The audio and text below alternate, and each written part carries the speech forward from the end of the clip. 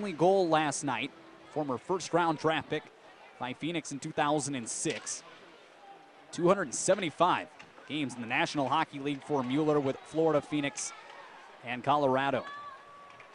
Bruins have it, and Grzelcyk will send it ahead. Meanwhile, behind the play, our first fight of the season, and it's Kyle Burroughs for the Sound Tigers. He'll reach back his right, and he's tied up with Sean Kuraly. They'll wrestle each other down just south of the blue line in the Bridgeport zone.